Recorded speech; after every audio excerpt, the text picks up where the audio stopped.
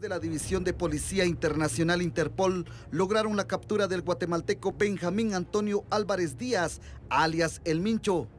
en el municipio de Moyuta, Jutiapa, quien es requerido por el gobierno de El Salvador, señalado de los delitos de tráfico ilícito, actos preparatorios, proposición, conspiración, asociación delictivas y caso especial de lavado de dinero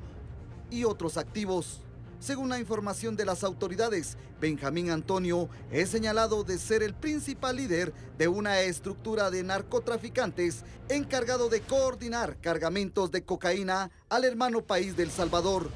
En las próximas horas iniciará el proceso de extradición hacia el país vecino centroamericano para responder por los delitos que lo señalan autoridades salvadoreñas.